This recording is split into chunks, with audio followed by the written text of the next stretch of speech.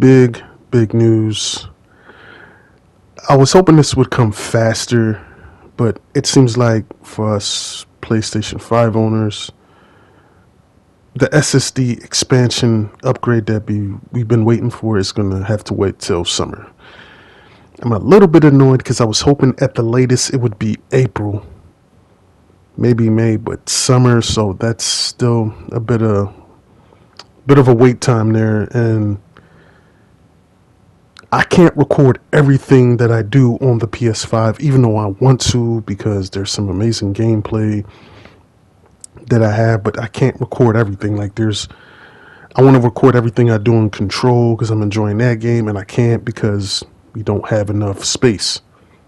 The best solution you got is to have your PS4 games saved onto a external hard drive and play from there. But as far as your PS5 games, you're going to have to manage it with, you know, with some type of diligence, you know, to make sure that you have enough space and it's basically it comes down to managing your space. So, but for me, like you know, a person like me who makes YouTube videos that you records everything and uses the PlayStation basically as a way for me to capture my videos, the space becomes limited, and I have to delete uh, a lot of videos, especially huge ones that are over 15 minutes because of the space, and they're recorded in 4K because I want to bring you guys high quality videos like this one.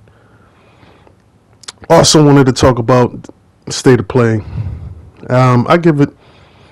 It, it was good. I, I, didn't have my expectations too high. I mean, it.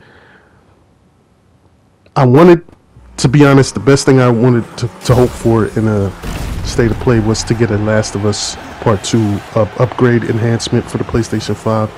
Didn't get that, but for PlayStation fans, you got the next best thing. Final Fantasy uh, will get an upgrade and they got uh, an expansion. I don't know. Uh, I don't know if they they said it, it, it, you're gonna have to. Uh, it looks like you're gonna have to pay for it, but they don't give you a price. Um, overall, I thought State of Play was decent. I didn't have my expectations too high, so it's not like you know I was expecting them to give me the world because it's you've been getting a lot now lately as a PS5 uh, owner with a, a shit ton of games you can play. So overall, I thought State of Play was fairly decent.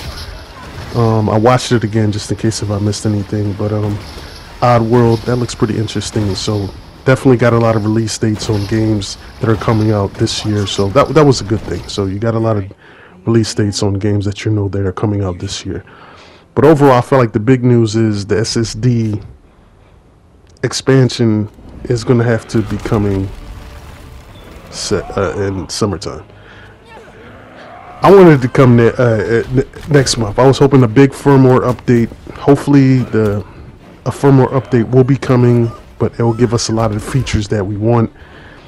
Just have to wait for the big another one until summertime for the SSD expansion. So what do you guys think? Did y'all want it to come quicker? Y'all cool with it coming at summer? For me, I wanted it to come quicker, so I'm pretty sure that's what a lot of y'all gonna say in the comment section. So just give me your thoughts and um, let me know what y'all think.